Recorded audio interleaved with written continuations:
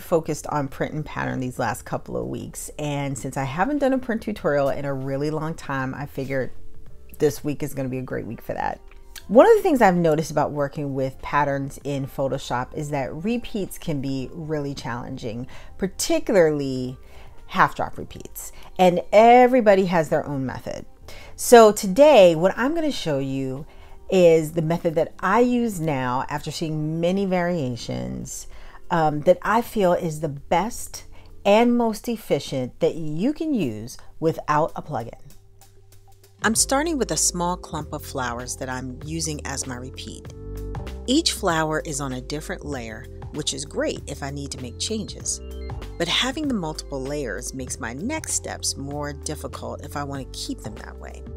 So to make the motifs easy to work with, but keep the maximum editability, I'm going to make this into a smart object. Smart objects are truly my secret weapon in this whole process. They're layers that preserve the original characteristics of an image, so if you need to combine multiple images but still keep the layers separate to continue editing them later, a smart object is exactly what you need. To create your smart object, select the topmost layer you want to combine, hold the Shift key, and click on the last layer to be combined.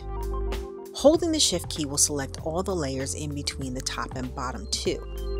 If all your layers are not consecutive, Click each individual layer while holding the Control or Command key instead. Once your layers are selected, right mouse click and choose Convert to Smart Object. To create the repeat, I'm going to use a filter called Offset, but before I do that, I need to know the size of the image.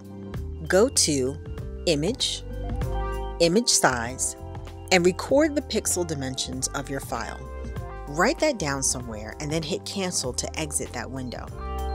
Center your smart layer on the page using smart guides or the align icons in the options bar. And then create a copy of the smart object layer. Next, go to Filter, Other, Offset. The first thing you're going to do is create the vertical drop. And to do this, you need to change the vertical number to half the pixel dimensions of the length of the image. For this print, half the size is 1101 pixels. Also, make sure that Wrap Around in the Undefined Areas section is selected. Then, press OK.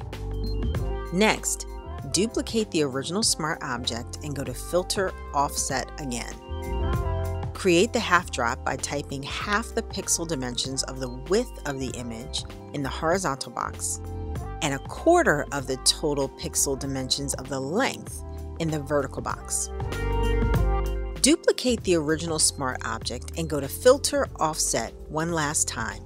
The horizontal pixels will stay the same number as the previous step, and the vertical will also stay the same number except it will move in the opposite direction.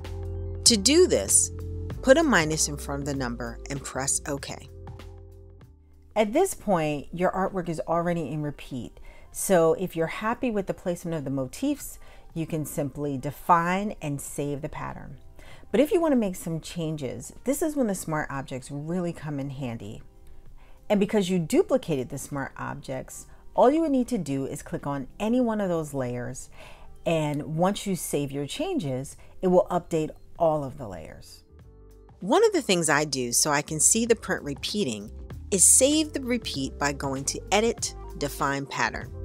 Then, I'll create a new document and test the pattern by going to the new fill layer icon, the black and white cookie, and choosing Pattern. Photoshop will default to showing the last saved pattern, and I'll be able to see my new pattern repeating across the page. This is when I decide if I need to make any edits or not. So if I see something I want to change, I'll go back to my repeat file and double click the thumbnail of any of the smart objects. A new file will open with all of the motifs in their original layers. And now you can move, rotate, resize, add, or delete anything you want. And each time the file is saved, the placement of the motifs update in the repeat file on all layers. To make it easier to see how your changes affect the overall repeat, detach the Smart Object file from the main window so it's floating next to the canvas of the repeat file. Each time you make a change and save the smart object, you'll be able to see your repeat file update.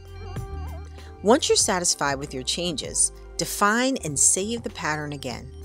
Switch to the file you had open with the first repeating pattern. Double click the first thumbnail of the pattern fill layer and select the new pattern you just saved, and the updated print will appear on the canvas. As I said before, there are many different ways that you can create your repeats, and I've seen and tried a lot of them. But by far, this has been the fastest and most efficient method that I've used. One quick note I wanted to add Adobe is currently working on a plugin that will help you create your repeats as well as recolor your artwork and create production ready color separations. So if that's something that you're interested in, you can sign up to use the beta version right now, and I'll leave a link to it in the description below. Keep in mind it is a beta version, but hopefully a final version will be released early next year. Now the plugin will not be free, but from what I've seen, if you're a textile designer and you're creating repeats and color separations and production artwork all the time, it may be worth it to pay for it. But if you're looking for a method to use in the interim, or you're looking for a method that won't be an additional expense, this is a great option for you. Thank you so much for watching. Have a fantastic day, and I'll see you next time.